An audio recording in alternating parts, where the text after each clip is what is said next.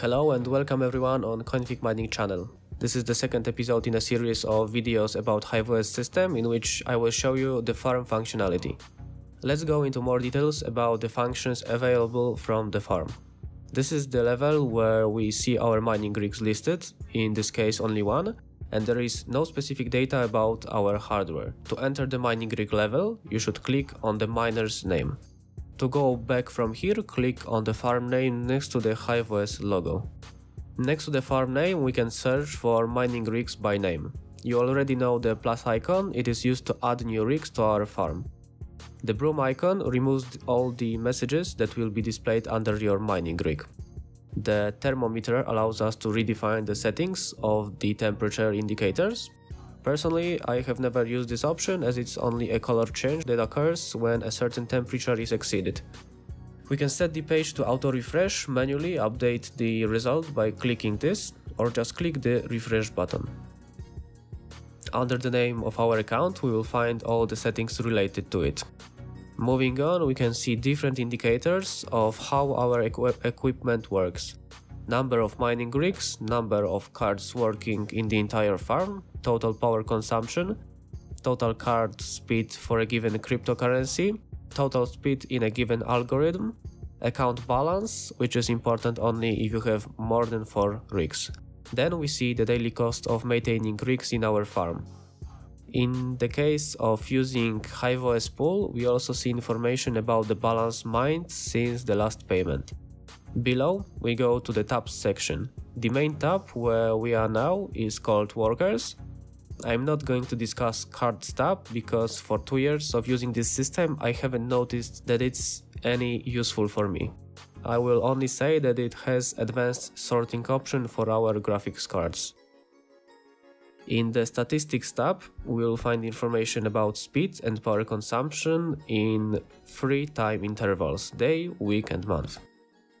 You learned about the Wallets tab in the previous video. It is used to manage wallet addresses which are later used to create flight sheets.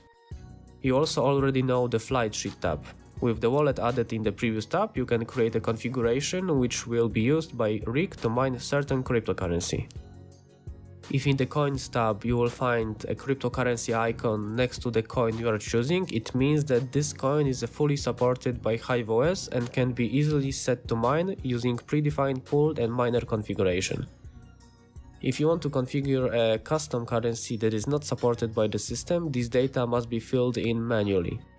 However, if the selected currency is so exotic that the system does not support any miner for it, you can add it by selecting the custom option, in which you provide a link to install exact miner.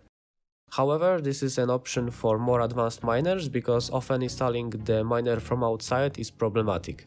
Below we can sort flight sheets by cryptocurrency, wallet and miner. The Schedules tab has options that allow you to configure a given mining rig work in a given period of time. I haven't had the opportunity to use it myself yet, but it's a nice option, for example for people with electricity pricing where on certain days and times the price for electricity is lower. The Overclocking Profiles tab has an overclocking settings option that can be applied globally to all mining rigs on the farm. I do not use this option myself because I overclock the cards from the rig itself. Cards from different vendors will react slightly different to overclocking, so in my case I don't see the point in configuring one setting for different rigs. Activity is a collection of events on mining rig and the history of actions taken on them. In the Access tab, we can allow another HiveOS user to access and act on our rigs, a nice option when you need to remotely help someone with his hardware. In the Payment tab, if we have more than 4 rigs, we will top up the balance from which the fees are charged. I most often use the fixed amount option where using the CoinPayments payment gateway, this amount is converted into cryptocurrencies and redirects me to pay this amount to a specific address. You can pay in the most popular cryptocurrencies. Funds are posted depending on the network speed of given cryptocurrency. So that's basically it in this video, thanks for watching. If you found this video helpful, leave a thumb up and comment, I'd really appreciate it. So see you in next video, bye.